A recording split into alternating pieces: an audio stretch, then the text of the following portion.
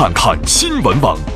孙俪跟随《甄嬛传》后宫姐妹组团上周末亮相台北之后呢，受到了来自好友何润东的盛情款待。只是没有想到的是啊，这一款待呢，竟然惹出了不少的闲话。更让孙俪烦恼的是呢，台北的媒体们竟然齐齐追问孙俪是不是跟刘诗诗正在闹矛盾。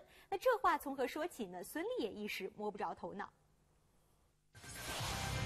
台湾地区刮起的这一股甄嬛热，真是愈演愈烈。这不，近日当一行主演应邀来到台湾地区录制春节综艺节目，群众蜂拥而至，都想来亲眼看一看嬛嬛。特别是今天早上在机场，我都特别担心大家会会撞到，会会受伤。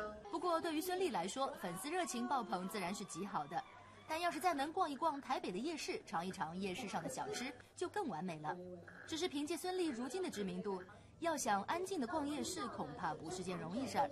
不过孙俪看起来早有打算，大家都会缠着你，我有自己的办法啊！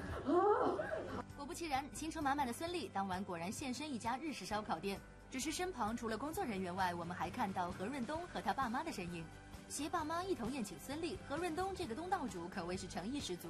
因为我跟孙俪是很好的朋友嘛，她难得来台湾，然后刚好我也在，那我肯定是希望。